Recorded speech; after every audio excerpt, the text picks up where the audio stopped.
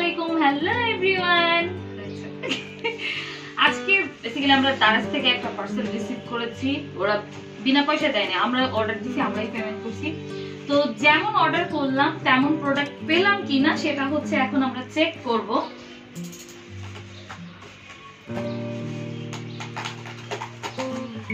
এখন এটা নিয়ে টানাটানি, মারামারি লেগে যাবে, এটা ফুটানোর জন্য।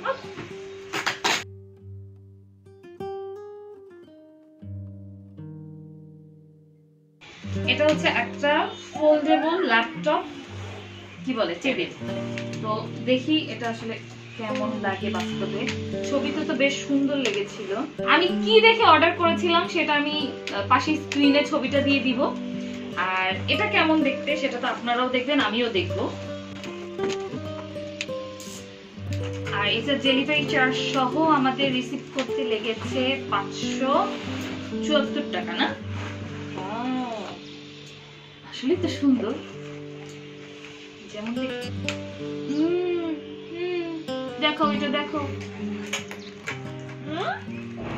ওটা কেমন? Mummy.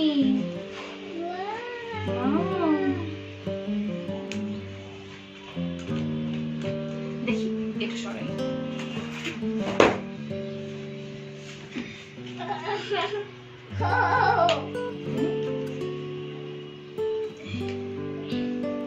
Yes. I like it. Do you like it? Like it? না, খারাপ না, ভালোই লাগছে বাট এই জায়গাটা একটু কেমন যেন, আর সব ঠিক আছে না আর এটা মানে দামটাও খুব বেশি মনে হচ্ছে না রিজনেবল প্রাইসই মনে হলো তো এই ছিল আমার আজকের ভিডিও